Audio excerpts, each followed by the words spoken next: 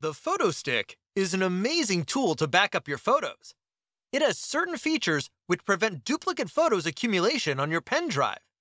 But it's not effective to clean up the near same photos.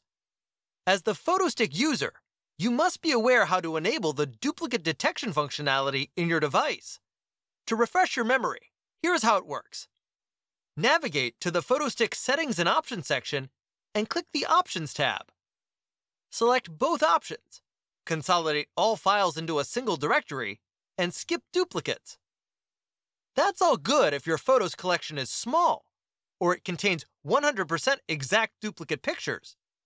What would happen if you have a gigantic photos collection with photos jumbled up with duplicates and look-alike images?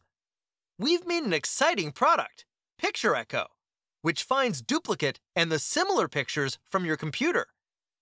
If you're looking to remove duplicate JPG, PNG, JPEG, and photos with other formats, give Picture Echo a try.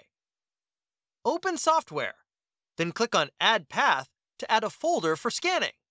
Then, I am adding a single folder for scan. This folder contains duplicate and same-looking photos. Set the similarity level wisely so that it best addresses your photos collection.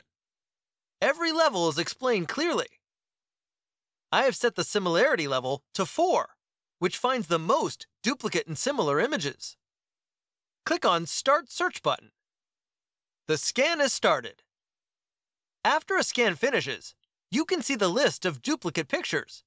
Simply review all those photos. Now click on Select Duplicates button and choose from the options given to delete all those duplicates. Click on Select Action.